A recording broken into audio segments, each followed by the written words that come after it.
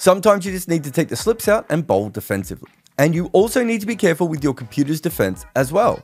If you need a VPN, go Nord. NordVPN.com forward slash Kimber to get a two year contract with a discount, plus four extra months and gifts in some markets. It's completely risk free with Nord's 30 day money back guarantee. The link is in the show notes. So put in some dot balls and turn them into maidens via nordvpn.com forward slash Kimber. Name and job title, please.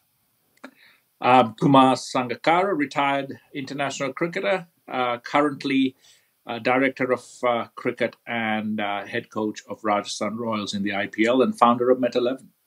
Tell me about Met 11. I, I, did I say that right? Met 11? Is that how it's supposed to be like all together? Yeah, Meta 11. Um, uh, it's uh, an exercise among friends to really try and bring um, um, cricket into the metaverse in terms of uh, customizable, uh, owned avatars that play in uh, bespoke uh, and and created um, stadia um, digitally, and to kind of democratize access so that anyone who loves cricket, and we know there are so many of us out there uh, can play against each other, play as communities, play as friends, and really earn uh, earn rewards um, in, in in terms of of, of engaging and, and being able to create uh, cricketers that they that they can um, like they can watch and uh, and own. So it's it's quite an exciting project, and uh, we've been developing it for a couple of years, and uh, we're progressing quite well. So is it like a combination of fantasy cricket and like a video game, sort of, but in the metaverse? Yes, it is, and also kind of football manager. It's AI driven, so the avatars will learn as well. You actually don't play uh, uh, for the avatar. The avatars just play; they learn as they they go along. Each each avatar is an all rounder, uh, and the games are, are, very very short, between uh, two and four minutes. Um, and uh, you can play one, uh, you know, one v one or, or, or a, a, smaller team against a, a smaller team. So uh, the possibilities are quite exciting. Uh, just have you played, and are you any good? Uh, well, I think I had. I, I, was all kind of geared up with all these sensors, and I was one of the avatars that can be dropped in and so uh, anyone can uh, actually be be kind of drop their own stats in. Uh, you can create avatars out of out of out of all the data that we've been collecting as well. Um, so it's it's quite exciting. I I'm, I'm not really sure how good I was, but because it's so short and my T20 record is not that good, I, I think it's pretty obvious that I won't be uh, much good at it. I love the idea of you playing the game with the avatar of you and then getting frustrated yourself for not scoring quick enough. Um, it, oh, well, it full, comes full circle, doesn't it? it? Absolutely. Absolutely. And that's the whole point. And being able to kind of understand the frustrations that coaches, players, spectators go through all in one when you are actually in the game is, is very, very interesting. Oh, beautiful. Well, good luck with it all. Um, I know you've Thank already you. raised a lot of money and it's, it's going quite well at the moment. So uh, hopefully it keeps going in the right direction. Hope so. Uh, I want to go back a little bit now. Uh, I've got you on this podcast because I'm doing a project on the best batters of all time. And believe it or not, you you you're involved in this book, even if before we spoke, because uh, we, we talk about your batting quite a bit.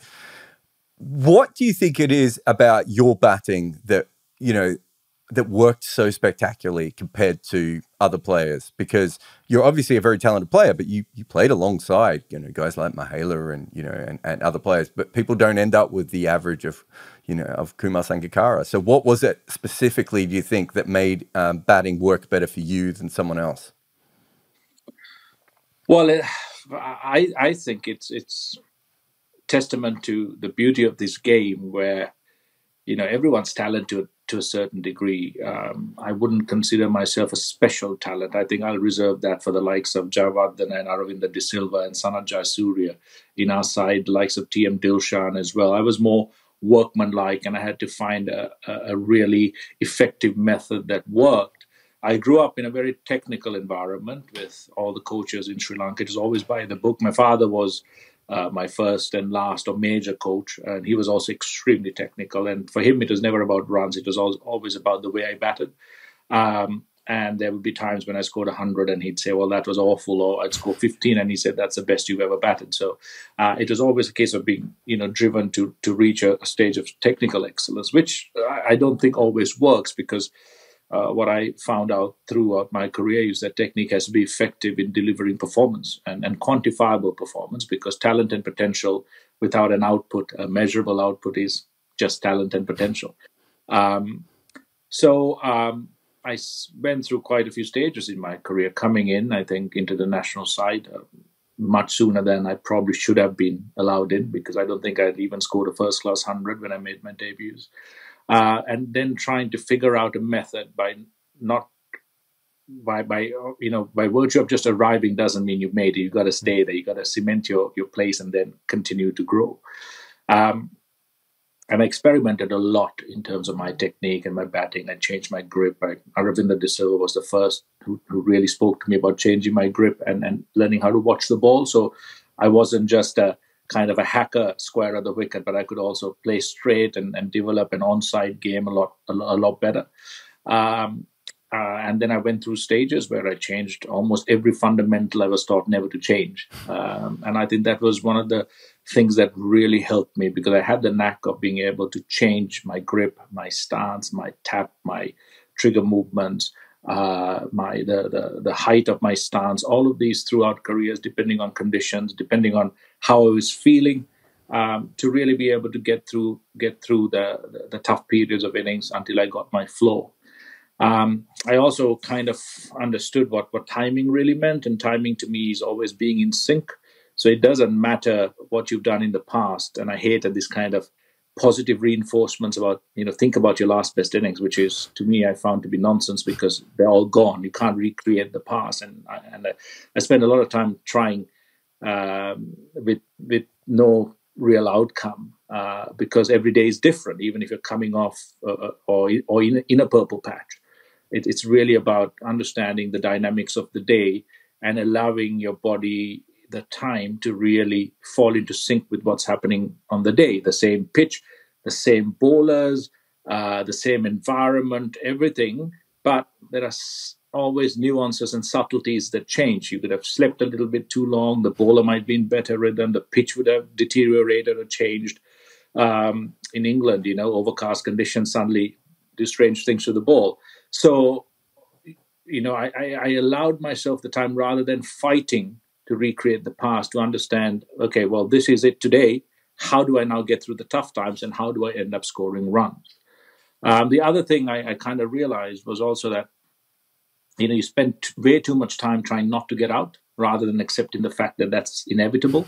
But what are you going to do until you know by the time that delivery comes along or, or you make a mistake because you know all of us are, are humans or even if you don't make a mistake a perfect shot could still get you out in cricket. So uh, I actually started putting a lot more value on runs scored and being effective uh, and understanding, um, you know, how to change that up in an innings. So I would have periods where I would buckle down. I had periods where I would take a lot more risks. I had periods of acceleration throughout my innings.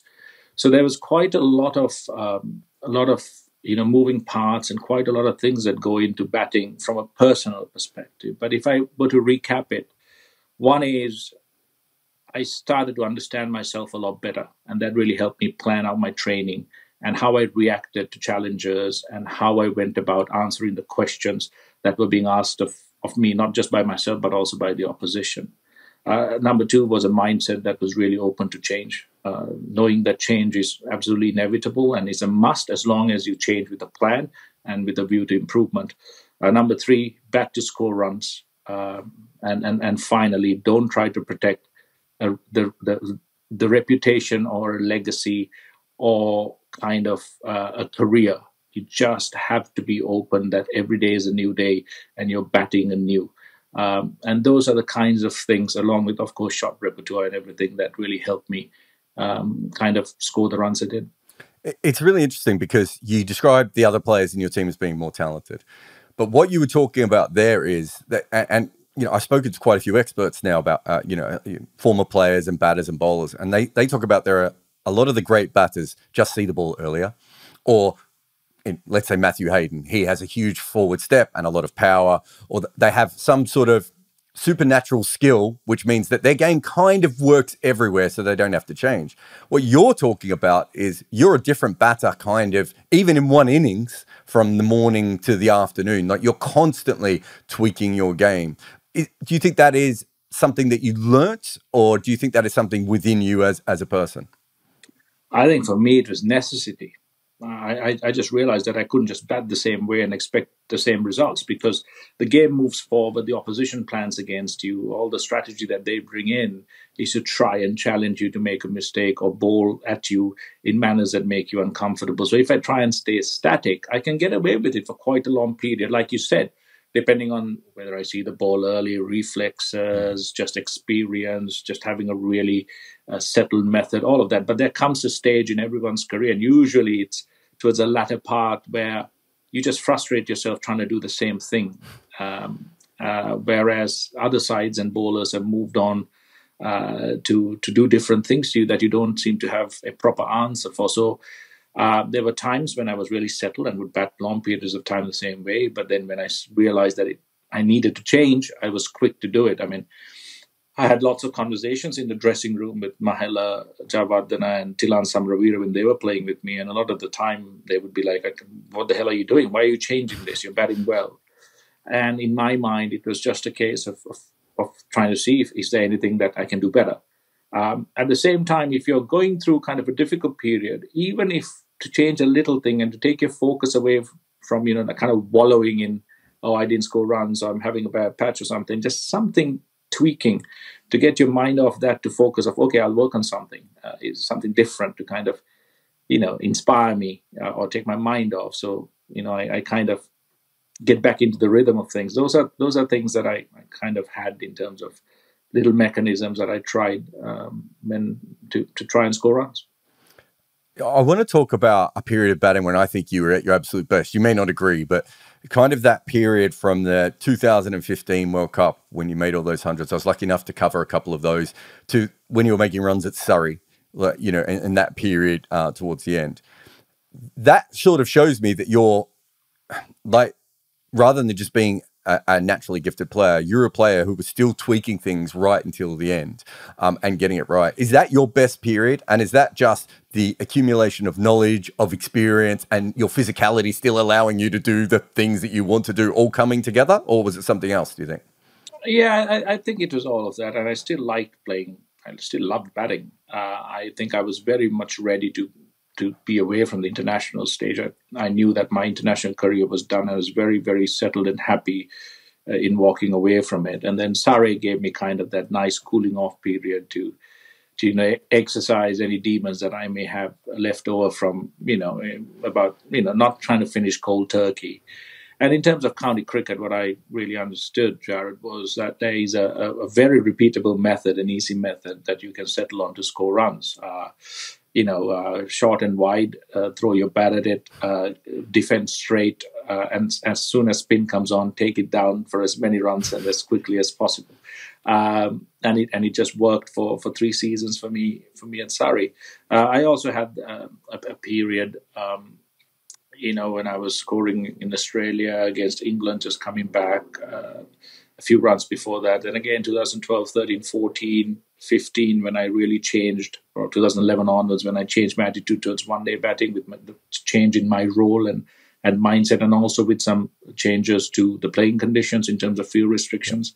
So there are various periods of time I can I can go back and say, well, that was a really interesting period for me. Uh, but in terms of finishing off my career, I was still tweaking uh, things, as you said.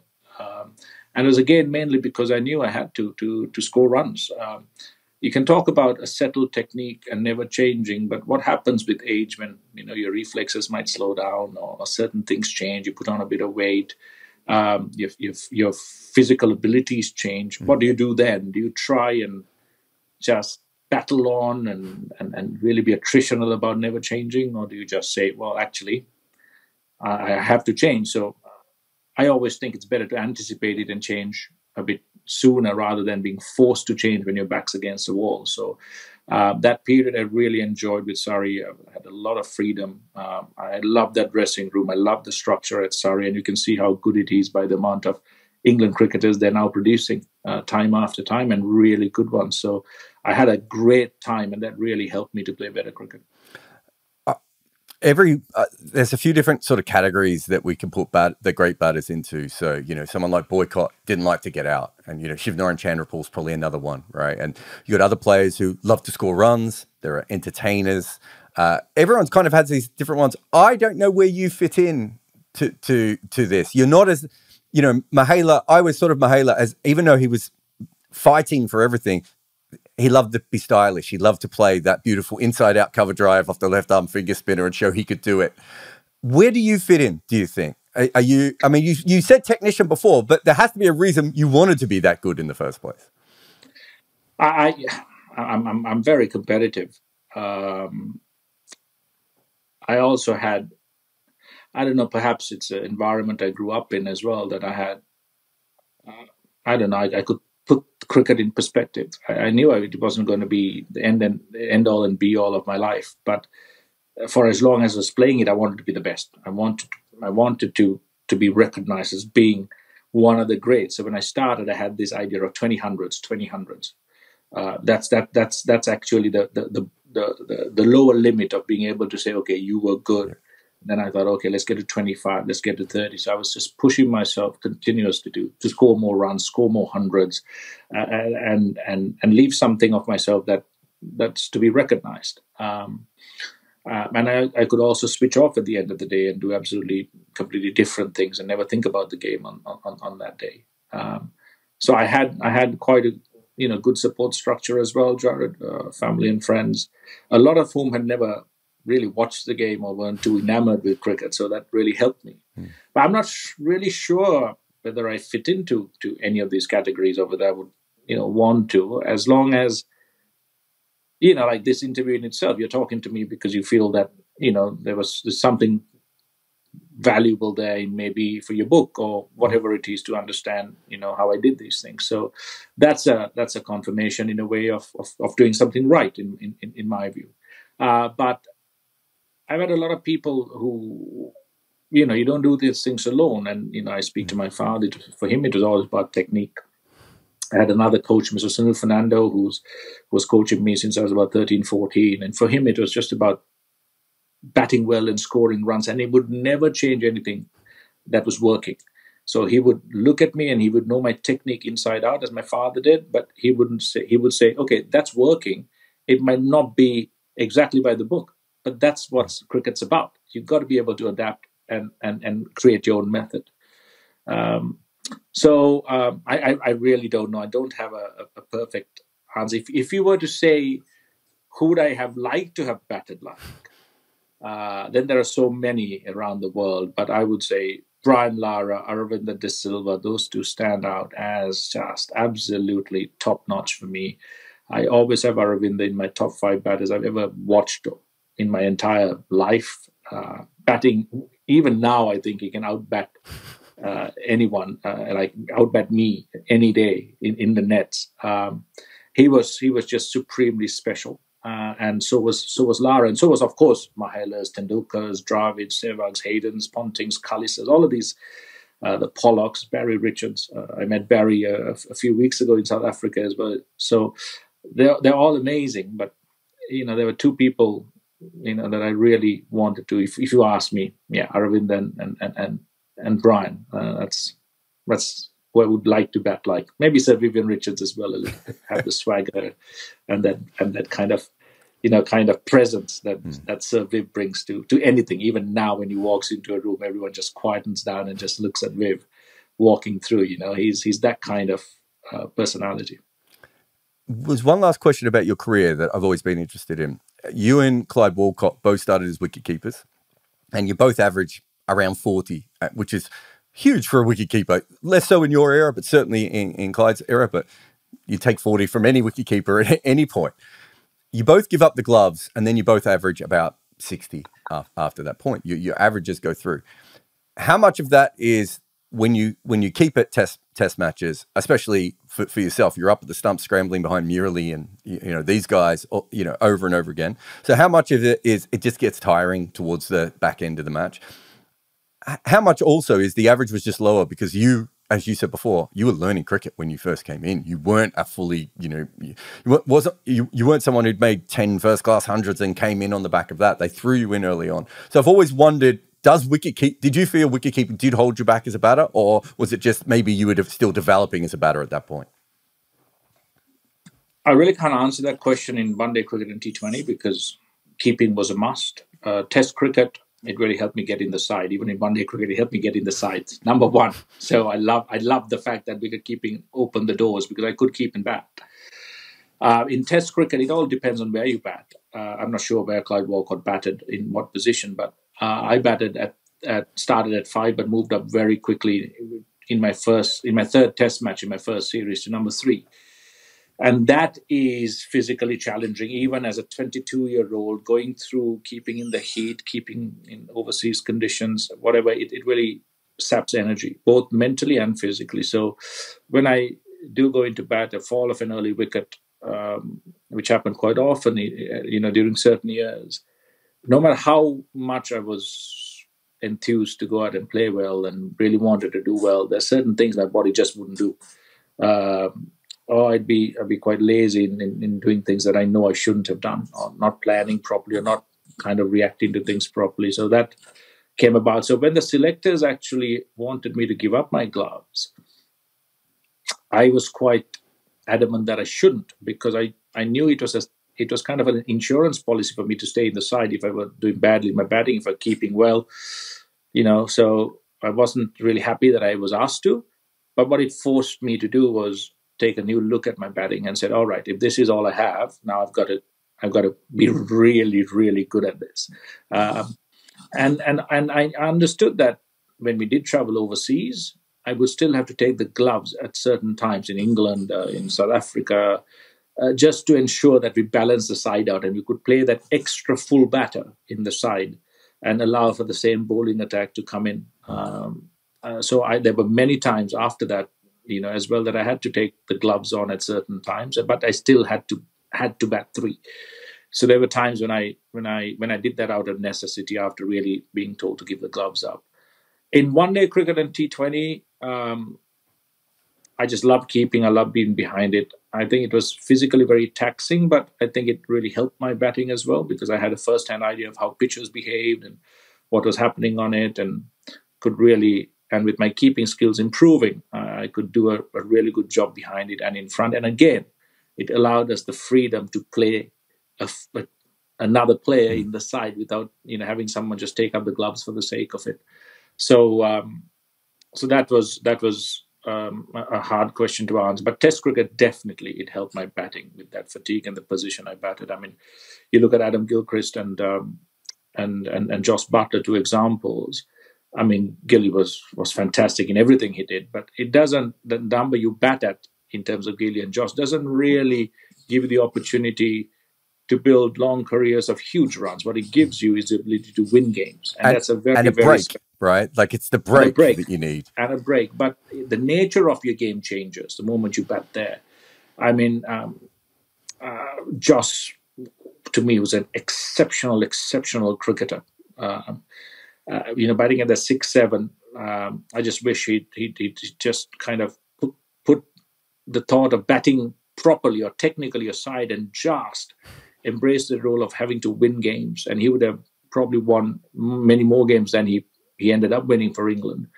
Um, um, and uh, and Gilly was just exceptional in that role of, of batting with the last kind of recognized batter and then absolutely putting to sword a bowling attack when he was batting with with the tail. So you know, your, the nature of your game changes. But the fact that I gave up my gloves and batted at three allowed me to to score a bigger volume of runs.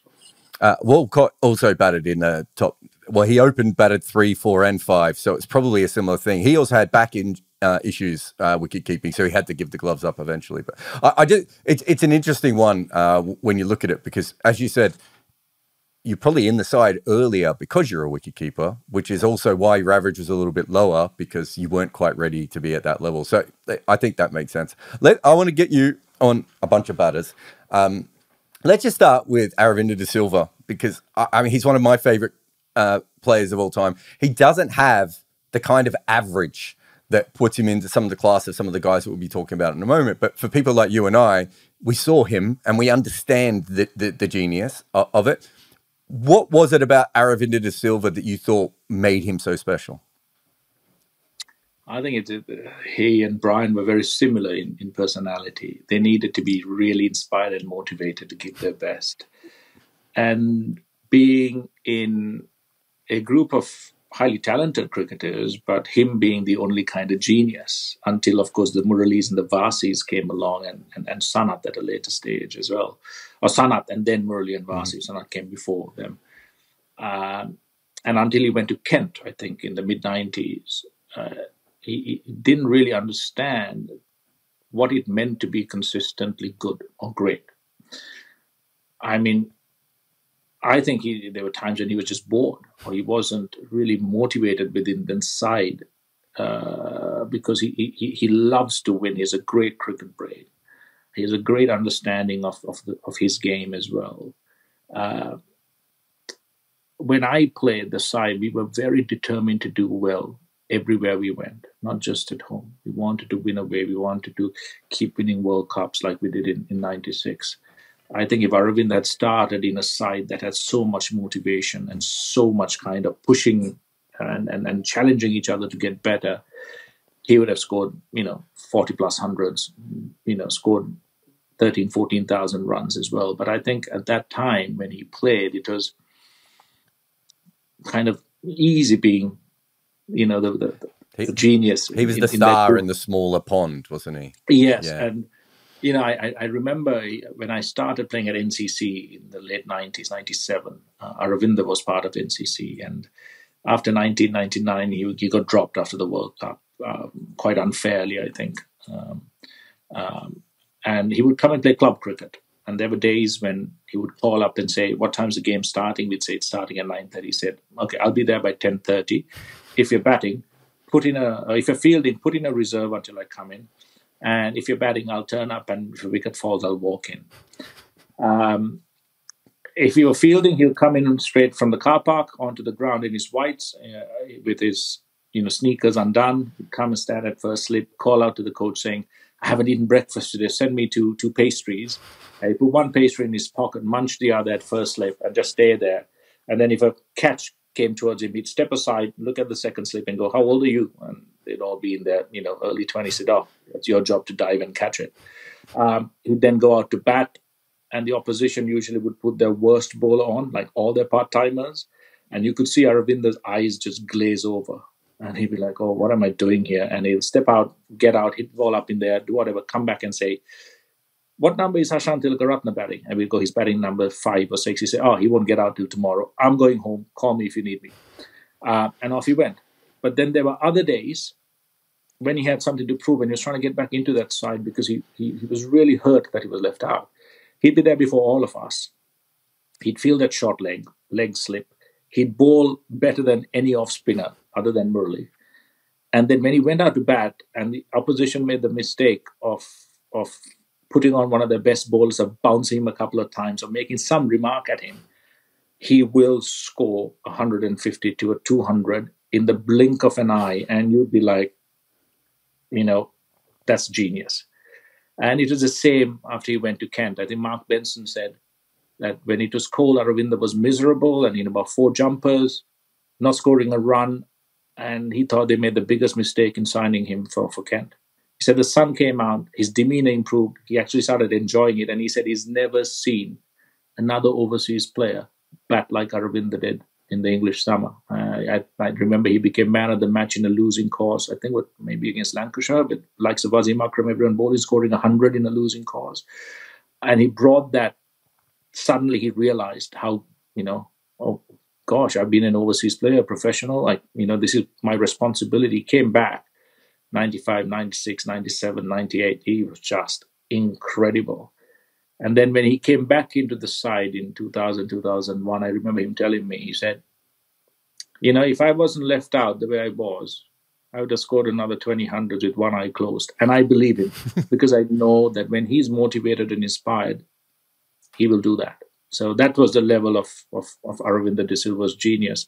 Unfortunate that it was at a time when we probably didn't put as much into into terms of, of like being the best until that 95 96 period and after that he was a completely different. Well he had a pretty handy 1996 world cup um, so, he, with bat and ball by the end. Um, let's go through some of the other players you, i mean obviously the one that you played the most with is mahela. Mahela is someone who i think he averages 35 outside of asia and 55 or something inside of Asia. He would almost be one of the greatest specialist batters that we've ever had. Um, and, you know, having watched him and even talked to him about how he plays spin bowling, he kind of feels like to me, he sees it on a different level than, than everyone else does. What was it like batting with him and what, what do you think made him different? Oh, he's, he was just absolutely gifted. Again, on the levels of Aravinda De Silva in terms of being gifted. Uh, he had just this lazy elegance, plenty of time, technically extremely correct. Even with his backlift, you'll see that it's not an open backlift, it's a very close backlift and going back straight. And if you watch him and how his front shoulder and head works all the time, you always see that, okay, if you have that back so straight, it's really difficult to be good on the short ball or, or good on the legs. But because of that easy movement of that front shoulder, how early he saw the ball, it just his complete game was was incredible.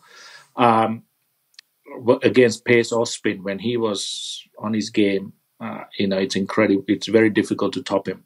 So he he would, you know, spin was for him. It was wrist. It was hitting against the spin, hitting over extra cover. Again, he was a batter who always looked to impose himself on the game, very much like Aravinda, like a Brian Lara, uh, like a Ponting um, or or Hayden. Um, Sehwag, you know, differently done, but the same attitude. I want to be on top of these bowlers and I'm going to stay on top for as long as possible. I'm going to take risks to do that. And if I get out, so be it. Um, and it, it, was amazing to watch. I really love batting with him uh, in the same way I did with, with like a Dilshan because you have times where, you know, you take the lead in terms of being aggressive, then you take a back seat, you watch these guys put the bowlers, you know, to all to, to all parts of the field, then you know you, you kind of so and we kind of knew each other's batting really well so we we kind of fed off each other really well. Uh, and that was that was that was really great to watch. Um, at the start of his career he, he, he batted very little at training. I was the opposite. But at the back end of the innings he had to do that change because of you know changes as you say you know reflexes all of that like all of us went through and he practiced a lot more. But uh, you know, he he's also in that category of genius in terms of, of batting, making batting look so easy in any condition. Uh, he also had, you know, huge peaks and troughs, as as many of these, you know, great batters will have. Mm-hmm. Uh, consistency is not something that they're really worried about. It's about being the best on the day. Uh, and yeah, he was he was he was supremely gifted and, and amazing to bat with. What did you learn from his batting? Oh, just the value of runs uh, I mean, how easy it is to postpone being dismissed when you're scoring runs and you're constantly putting pressure on the bowler, um, and being able to to to have a better relationship with risk in order to you know understand the rewards that come with that. Um, so they were they were they were great to to bat with him and talk to him about cricket. Um, also in our days we had different roles you know when i started at number three in one day cricket my role was to bat 45 overs. Let everyone else bat around it. Same for marvan when he batted. Um, and that and that was really nice that we had so many different players that could do different roles. Uh, but but for players like mahela for players like dilshan for sana it was just about you be the genius because they could. Uh, and we'll do the supporting roles. And and sri lanka was so good for so many years as a result of the diversity of players who could do so many different roles. Um, but yeah, but you know, very few players become. You, know, you can be great players or whatever, but there is a you know that touch of genius. A lot of people complain that I'm not a former cricketer and so that I don't really know the game. Well, you know what they can't claim? That I don't know desks. I've been using desks for years. I'm a collector of desks, old and new, and I'm sitting on a new one right now. I'm the Don Bradman of sitting at desks. So when I tell you that the E7 Pro next generation height adjustable desk from FlexiSpot is legit, this is like Michael Jordan talking to you about sneakers. This desk holds 160 kilograms. It is as stable as anything I've ever seen, and it has under desk cable management. But really, the main skill here is that this desk rises and falls at the push of a button, and it moves super quick. And it has so many settings that remember your favorite heights. It really does it all. And I could not recommend the E7 Pro from FlexiSpot anymore, even though I am currently sitting on one of FlexiSpot's BS12 Pro multifunctional, adjustable, upgraded fabric ergonomic chairs. My butt and computer have never been happier than when using one of FlexiSpot's products. So get over to their page right now for big savings. Uh, you, you mentioned this player before, um, Samaraweera. He doesn't get as much uh, credit these days. Um, I think you, you and you and Mahela stole all, all the uh, the limelight in Sri Lanka, and he doesn't get remembered. But he he was impossible to get out on his best day. Another incredible player. What what do you think made his batting special? I think it was a little bit like me.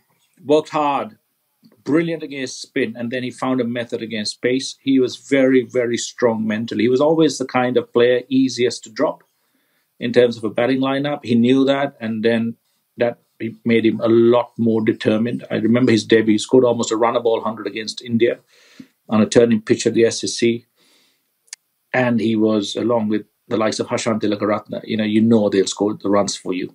Um, in spin, he was really great with his wrists, great driving down the ground, hitting against the spin, which I always think hallmarks of great players of spin always have that ability to hit against the spin.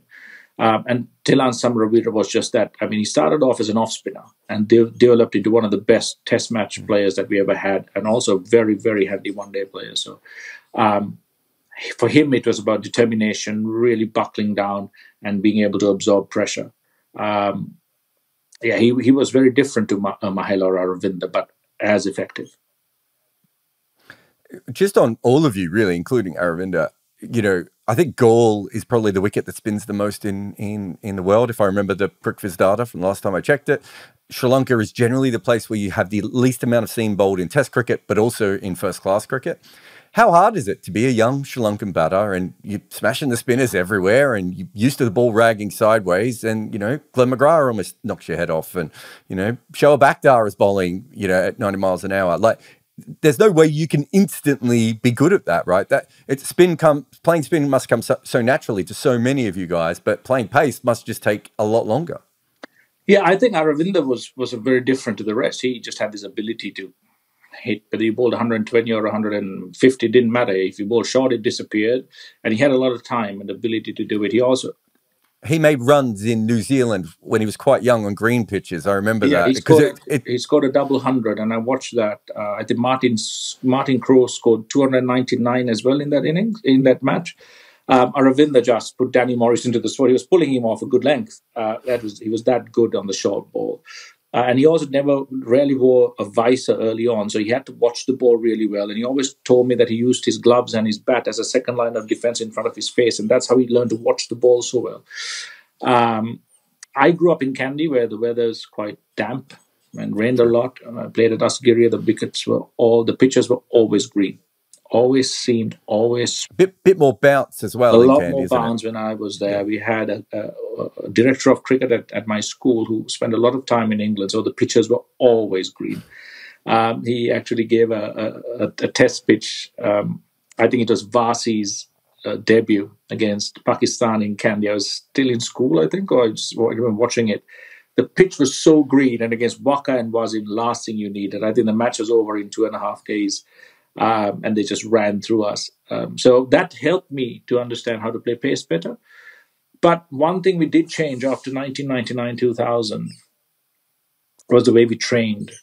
Um, early, it was very easy. You know, there's this great story about Ravindra Pushpakumara running in and, and bouncing Sanath Jayasuriya. And Ravindra Pushpakumara ball a bit like Waqar Younis, had an extraordinarily long run up like Shoaib, uh, a little bit slingy, quick.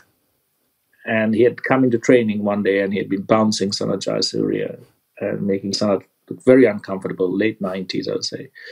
And someone had said, What the hell are you doing, man? You're bouncing the next captain of the country. Do you want to be in this team or not? You know? And he said, Oh, oh, oh shoot, okay, fine, I'll pitch it up. But I think after after 2000, we had no restrictions in terms of, you know, bowlers bowling to us in the nets if we wanted to be the best, we had to be challenged in the net. So with Dav Whatmore coming back for his second stint, uh, John Dyson coming in, uh, captaincy changes to Sanath and then Marv and Hashan, uh, Mahela. We just ensured that every practice was as challenging as it possibly could be with a look to performing outside the country. New balls, bowlers overstepping. Even when the side arms came in, you know, don't take throwdowns for the sake of it. Make sure that you're being challenged. So the practice intensity changed, and our work ethic changed to a massive amount of learning how to play the short ball. We knew we'd get bounced when we went abroad, so we'd have wet tennis balls. Uh, we had tennis rackets. We had all of these coming in. Tom Moody, Trevor Penney, They did a lot of work uh, uh, in terms of the short bowling for us as well and fast bowling. So uh, we we did a lot of work, and that helped. We've we've done the the great Sri Lanka batters. Let's move on. Um, I've got this almost in. I think it's almost in the list of the players who made the most runs in the games that you were in. But Sehwag comes up next, and, and we know that he loved playing against uh, Sri Lanka. Um, that famous 99 I think he made when someone bowled a no ball uh, in, a, in a one day or at Hambantota or wherever it was. That was um, it was Dambulla. I should have known. I was at the ground, but I knew I knew I was traveling around that part of the country. Um, but he but he always seemed to love playing uh, against Sri Lanka, and we and we uh, we know what a great player of spin he was. You talked before about you know people like Viv and, and Lara and and their uh, you know, the the way that they attacked and the way that they wanted to uh, put pressure on you. Say, Sehwag was almost someone different. He almost did it in a, in a like almost in a meditative state. Like the if the ball was there, he hit it for four. It didn't almost nothing uh, impacted him. What was it like, you know, watching him from behind the stumps or at slips? Yeah, it was devastating, was it? I mean, he had the simple mantra in his see ball, hit ball. And to this day, even if you watch him on social media when a batter is batting out there, that's all he says. That's how you should bat. Just, you know, what, why are you respecting bowlers so much? And that's exactly the way he pay, played. Forget Sri Lanka. I think he played. He scored a 190 by T against Australia. I think once. And MCG. debut 100 against South Africa. I mean, mm. Again, he never really cared about preserving his wicket, uh, looking good or being consistent or technical. He was there to score runs. He was there to drive the fear of God into the bowlers, and he did that so well. Uh, even when Ajantha Mendis and Murali were running through India in Mendis's debut series against against them, he's got a double hundred in Galle. The only batter I think to get into anything beyond 15 or 20 was Sehwag, and that was a double hundred when none of the other batters, including Sachin, including Dravid, including Laxman, could score and he just he just hit boundaries. He hit boundaries and sixes whenever he could. He had, I think, also kind of a very stubborn thing about getting to hundred with a four or a six. Um, I remember we were playing SSC in a test match in 2009, 10, I think, and then he was on 90 odd, and we actually got Suraj Randiv on and bowled a top spin and knowing with the field up, knowing he'll charge and telling him expect to charge. So getting past that edge, we can stump him. And it actually did work. One of those rare things when a plan works because he just he just didn't care. Just wanted to hit that hit that ball out of the ground. Again, absolute match winner as well. You know, he bats for a session. You're you're well away in terms of winning a test match. Um, again, incredible player. You know, again falls into that same category of easy and easy genius. Uh, someone who's a bit different. Uh, actually, just before I go away, did you captain much against Sehwag? Is he harder to captain against than a normal player? Because it, depends. It, it, he always gives you opportunities to get him out, but yep. he just have to have fielders in the right place to get him, or got to get him early on. I think in India we have this tour when I was captaining to India, we dropped him early twice. That was it, you know. And after that, it was really hard work bringing him back. But he always gave you opportunities, so. Um, um, so yeah, it, it, it was interesting captaining captaining again. Hard, but very interesting. Uh, Khan is another player who made a lot of runs against um, Sri Lanka o- over the years. A very different kind of player. Um, what what are your memories of him as a batter? What made him special? Again, I think the first time I saw him, I think it was a reserve, and he came and scored. I mean, was it twin hundreds at SSC against Sri Lanka? Or could be, yeah. Um, and then he scored a 300 against us in, in Karachi, I think. Um, and in that match, Murli bowled around the wicket. He was out plumb LBW when he was like under 20, and no one appealed. No one appealed. Uh, and Simon Taufel was umpiring. Um, and I saw the replay after the ball had uh, that delivery had finished. And I asked Simon, I said, Simon, how was that? He said, too late for appeal, but that was dead. And then he went on to just absolutely flay us. Again, uh, different to the other players, but just again very easy on the eye really great against fast bowling and spin. Sweeping was just amazing, and he took to reverse sweeping as well later on really easily. So with spin, we knew he would sweep and sweep and sweep when it got difficult. Um, but again, brilliant to watch. Just scored a lot of runs. Like you know, again, slightly perhaps slightly different to even Mohammad Yusuf. Uh, Yusuf was again very easy on the eye, standing up tall. Uh, I think Younis was a lot lower, uh, had a lot more movements in him, but again, fantastic batter. It was was um, Mohammad Yusuf maybe more like a Pakistani version of Mahela. yes. Uh, yes. Yeah. Uh, Inzamam was also like that. Uh, I think in that same category as a Mohammad Yusuf. You know, um, they're very different. I mean, from being very large and imposing to having power and not really being too nimble. But just again, he had that. I think he again he he had that same streak of genius in him. I wondered if Younis Khan wasn't a little bit more like you as a player. It felt like to me. I remember there was a series he turned up in England where he just clearly his eyesight wasn't what it used to be, and so he was jumping at the short ball. And it put England off so much they didn't know how to bowl to him. And I remember there was another series in Australia he turned up, and as you said, late in his career he, he became a reverse sweep. I wonder if Younis isn't one of those players who was just constantly tinkering, which made made him harder to line up than other players. Maybe I haven't really had a lot of cricketing chats with with Younis um, and, and and and and maybe uh, I think he he probably was like me, but he had a lot more shots, especially against spin on the sweep and the reverse sweep. Uh, Sachin Tendulkar, you may have heard of him. uh, obviously, we're going to talk about him quite a lot in the book. But as as a another great batter that you are, how when you look at Sachin Tendulkar, what is it that you saw that other players didn't have? Oh, I think that I, I think he it, it's not just about what other players didn't have. It's just that that level of players have a lot of common as well. But he just had this. I mean, uh, technically he was amazing. Uh, he shifted from having a, a like a, a, lower stance like Sehwag with his head almost on the side to a much more upright stance later on. Um, and I mean, you know, naturally just amazing against pace, amazing against spin, very forward thinking in the way he batted, read the game really well, read oppositions really well, could score runs on any pitch, anywhere, at any time. Um, when you say forward thinking, you you mean he realizes what the bowling team wants to do yeah, I mean, tactically. I've been there as well. You set a field, you, they know exactly what's coming at them, how to adjust to it. They do they do certain adjustments. I mean, both of them had this amazing ability of understanding what shots to play. They'll have all the shots in the world, but they might, you know, play an innings until about 80 runs. They'd play only three shots rather than, you know, anything more. Um, uh, one of the few players that could score, you know, all areas of the ground. But I think the greatest thing about Sachin was his passion for the game, his thirst to, to just score runs, and his ability to withstand pressure, not just on the field, but outside it a billion people just constantly chanting his name, wanting him to do very well. I can't believe he lasted as long as he did, about a 24, 25 year career, 200 tests. And it's a testament to the character, personality, ability, talent of an individual like him. And that makes him complete as, as a cricketer, you know, just complete. He had everything, uh, which included steel and determination and grit. Um, last and do the things that he did, which was basically constantly being the best in the world, this day after day, mm. with no kind of break any, anywhere. And that's absolutely incredible to be.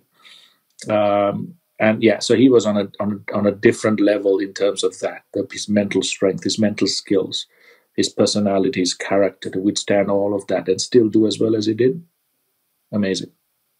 Did I, I know it's a very different situation because Sri Lanka is a lot smaller, but did the pressure get to you at times of being the main guy? Our, our pressures are very different. Uh, I think our crowds are very different. Uh, mm. They love the game and as passionately as Indian fans, but we're islanders. Uh, they, they look at cricket slightly differently. Um, and, you know, a, a, loss is never a world ending loss. They hurt, they, they get upset, uh, but they always come back uh, we don't have that same kind of pressure Indian crowds used to have. I think the Indian crowds now with the IPL and all of that is slightly more, slightly different. Have have uh, have kind of changed to be a different crowd than they used to be.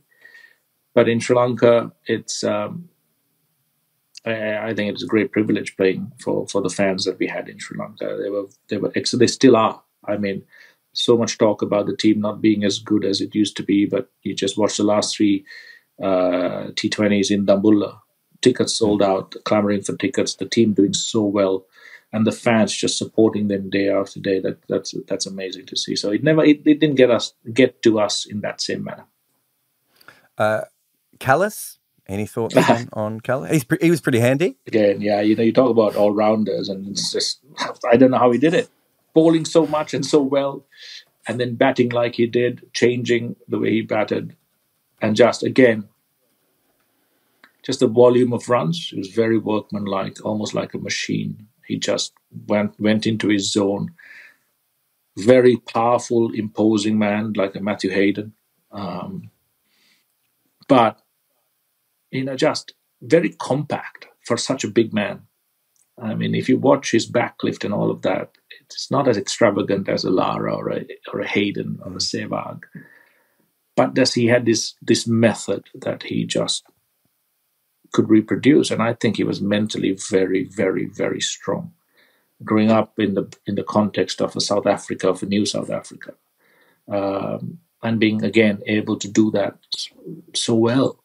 Um, yeah, there are so many times, you know, that that you you look at Kallis and you wonder how how does this guy do it? And again, in any condition, anywhere, batting at that crucial position of number three, he was just incredible to watch. He was just an incredible, incredible person. Compared to some of the other players on this list, and I think it's one reason he doesn't get as much credit as he deserves, is he he. I remember watching him against off spin, and he's one of the first players I saw to get outside off stump and just play everything as if it was off his pads, which county cricketers eventually did years later against fast bowling, right? And every time I saw him, he would have a specific method and he would go with that. And obviously, incredible eye and very good footwork, and as you said, a huge man. But he, he felt like he found a, a method against each kind of bowling, and then that, that was the Kallis way. And it was very hard for him to to shift in the way that some other players could. Probably, uh, more so in the limited overs game, where again his rhythm of batting was very similar throughout his career.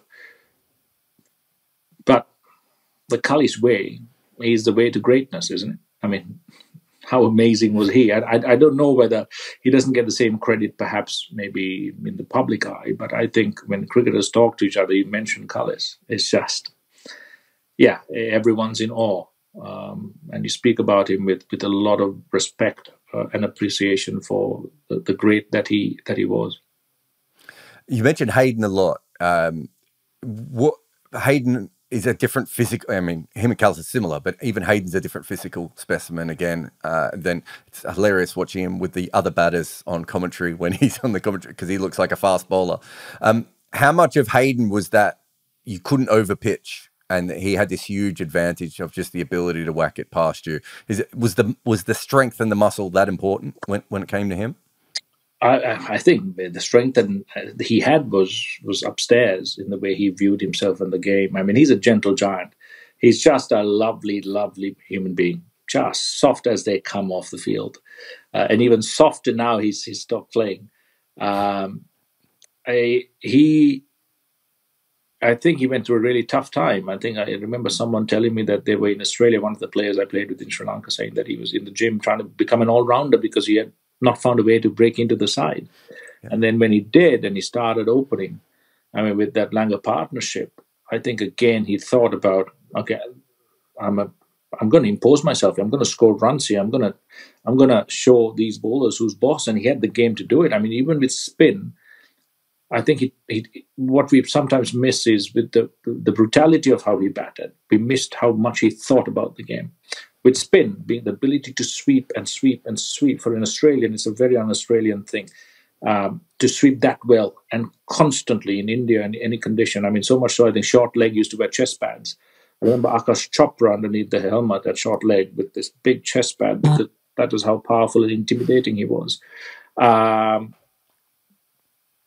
um, it's um, he he he really prided himself on anticipating what bowlers were trying to do. I've had a few chats with him since he's been on commentary, and it's really fascinating to understand how much he thought about uh, getting to staying one step ahead of the opposition, and he thought about the game.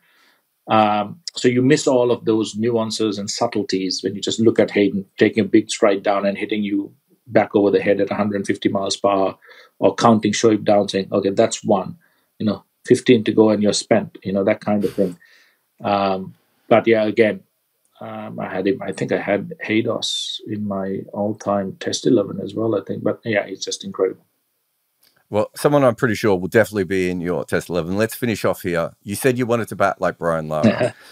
you you were pretty good yourself. What was it about Brian Lara that you were like? Is it is it a prettiness? Was it the the the impact he had on games? What was it that you wanted to to be like Brian Lara? He just had everything, except perhaps the thirst to be consistent. I think never bothered him. I don't think he, I think he just wanted to win games. And whenever there was a challenge thrown at him, he just had that ability to just step up and take take you down. Um, I watched him score 680 runs in three tests against us in Sri Lanka with Murali, Basi, all of them in top form, and a series where him having scored 680 runs by himself, the West Indies lost 3 0. And he did he did all of that on less than, I think, three hours or four hours of sleep a night. Uh, he, it, it's hard to describe his level of genius. Um, you know, again, I always have comparisons to Aravinda because I don't think the volume of runs ever bothered them. It may have, but it just didn't. I don't think it allowed they allowed to, it to get their kind of that how would you say it that the, the spirit down dampen the way they played. And every time i watch brian i used to love sir vivian which i still do uh, both as a cricketer and both as a, as, as a human being. But brian lara as a cricketer is just eh, i mean you watch him and you're very you, you feel grateful to have watched him score runs against you. That's how good he is you know. Um, and that's quite intimidating to have. Um, he's a small-made man. He has a swagger on the field, but a very, you know, not not as much uh, about him off the field in terms of that, in terms of the swagger. But I mean, I challenge you to find any anyone that had watched Brian scoring runs and walked away without being completely overwhelmed as to how brilliant that man was. I mean, his backlift. Every coach in the world will tell you never do that, right? Never do that. Never have that flourish. Never have that height. But just incredible. Um, and, and, his career, the the, the the, the the runs he scores, you know, the 501, you know, the 400, the 375, whatever he does, he does he does it in in in you know, when he makes a statement, it is world global headlines. Um, yeah, it's, it, yeah. Uh, he, I don't know. I don't know what to say. I can't. I don't think I can describe him or break his his cricket down. Uh, I think again, great cricket brain, very very determined, mentally very strong. I think uh, yeah, he was special. Um, just on your career, and then and then I'll let you go. But uh, your father came out towards the end of your career saying that if you'd listened to him more, you would have averaged over 60. And we all had a lot of fun with that on Twitter that day, if I remember correctly. One of the great days of cricket Twitter. um, do you have any regrets? Is there anything? Because I feel like you got so much out of your batting and you improved and you moved forward and everything. Is there anything that you look back, maybe even now with watching Bazball and you know Travis Head and you know all the and Jaiswal and all the? Is there anything you look back and go, oh, I wish I'd done that. Wish I'd been there. Yeah, of course, quite a lot. Uh, but you know, those regrets are part of part of any career, any life, and as long as you're settled with it and and and and you're you're content having those regrets as well, uh, highs, lows, everything that came with with uh, with the career I had, I'm, I'm I'm pretty happy. So yes, regrets, of course, um, but I'm I'm I'm I'm pretty content. I understand that you're content, but if you came through this generation, what do you think you would have been slightly? Is there anything that would have been slightly different about your batting? Yeah, think? probably. You know, batted with a lot more freedom. Um, understood the value of entertainment in the sport as well, and in the way we played. Um, and in any format, Test or T20 or T10 or one day, it didn't matter. I think to have that real entertainment factor come through in the way we played and, and, and, and how we chased wins perhaps all all of that. Uh, you know, I think times have changed, and and players play with with a lot more abandon, a lot more uh, freedom due to you know the advent of T20 and its effects around on every format, and that's great to see. And the fans are enjoying cricket more and more. Um, so yeah, there's a lots of things that probably would have changed, but unfortunately, my time is done. Thanks very much for coming on the podcast. Thank you, Jarrod. Thank you very much. It's been a pleasure. Thanks to the kind folks at FlexiSpot for looking after my office and my butt by sending me their E7 Pro desk that save your favorite desk heights at a touch of a button. You don't have to crank anything. This thing just finds the height that you like and you can work. And their BS12 Pro chair that supports my posterior while I'm recording, well, this ad and all my shows. If you need great desks, especially ones that change heights or the best quality chairs, head on over to FlexiSpot today.